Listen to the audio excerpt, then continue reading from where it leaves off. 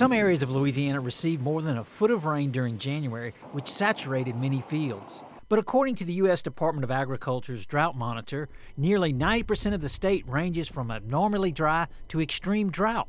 More rain will be needed to break the cycle. The drought has caused us to mine all the water out of the soil um, last year with the crop season, and so it's going to take a lot more than just the last few weeks of rain to truly replenish that in the soil.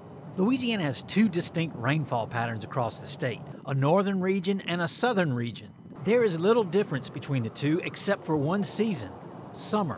What we found looking at the, the rainfall patterns is that the only true difference between those two regions are in the months of June, July, and August. Those summer months, the irrigation months, Last year, some areas of the state were so dry the soil repelled water. When the soil gets too dry, it becomes hydrophobic or does not absorb water like it should.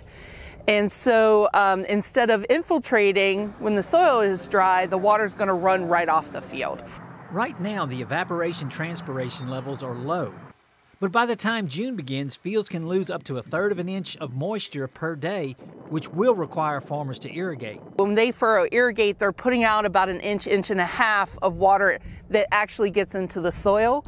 And so that accounts for the ET loss from the last seven days. While producers would like to see more rain, they need dry fields at the beginning of March to begin planting their corn crop. With the LSU AgCenter, this is Craig Gautreaux reporting.